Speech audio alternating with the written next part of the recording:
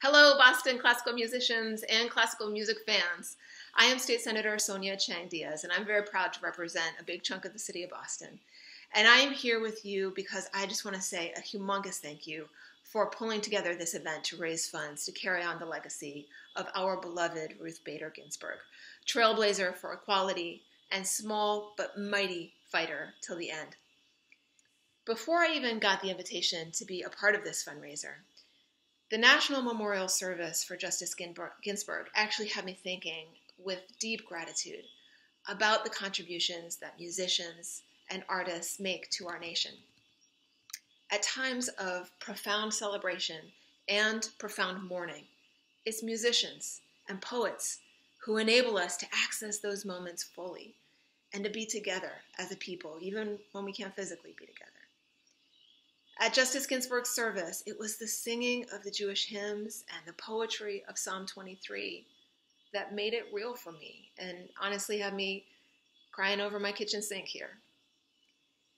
And I think back to President Obama's inauguration in 2009. It was the music that likewise brought the occasion to its full power and made it indelible in so many of our emotional memories. And I also think back to when President Obama sang, Amazing Grace to a nation so in need of it at the funeral for the Charleston Emanuel AME church shooting. And there again, it was the music that made all the difference.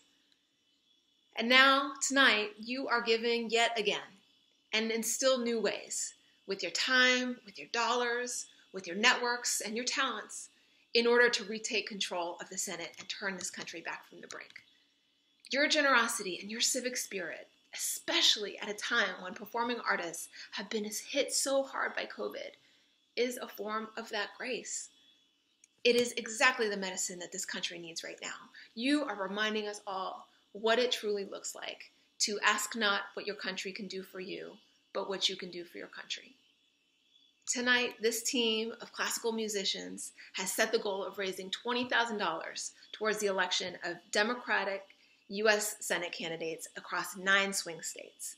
Now, make no mistake, this money that you help raise tonight could be the margin of victory in any one of those races. And here in Boston, we know this is real because you'll remember we had a city council race last year that was decided literally by one vote. What you are doing here tonight can absolutely make that difference.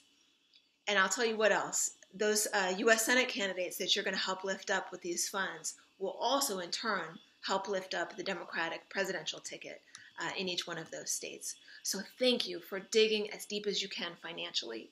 And also, don't forget that money isn't the only way to contribute to a campaign. If you've got a few hours to give over these next few weeks, please sign up for some digital volunteering.